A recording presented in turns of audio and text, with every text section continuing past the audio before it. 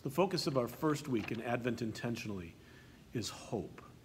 And so each, each day we'll reflect upon some aspect of hope in our lives, and it'll begin with an invocation, um, a confession, order of confession for us, and then um, something to focus our attention. Maybe take some time for a few minutes at some point in time during the day to just rest quietly with an intention in particular.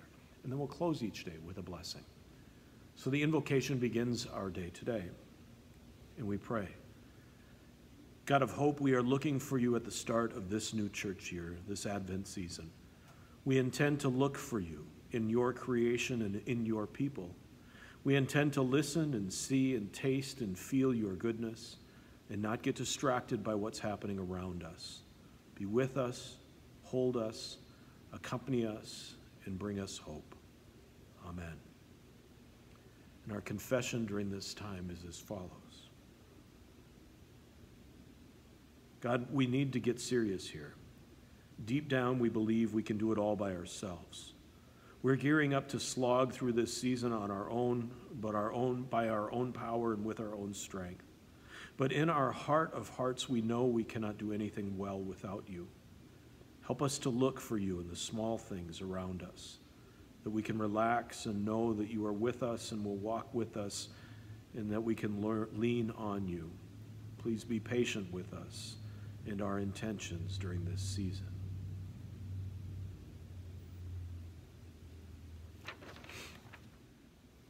Thursday, December 6th, I believe, in our journey Advent intentionally, and our prayer intention for this day is God's creation and the birds of God's creation. We feed birds in our backyard, and I marvel at their colors and splendor and vari- variations of birds that are out there. So even in these winter months of Advent, reflect upon birds and give thanks for them as part of God's good creation on this day as you sit in prayer today. Brothers and sisters, may you be blessed as you live Advent intentionally this year in all that you say and all that you do, and may this blessing guide you along the way. May we see the hope of God in all of creation. May we see the hope of God in all people. May we see the hope of God in all moments of our days. May we live life with hope and on purpose. May you be blessed in your journey this day and always. Amen.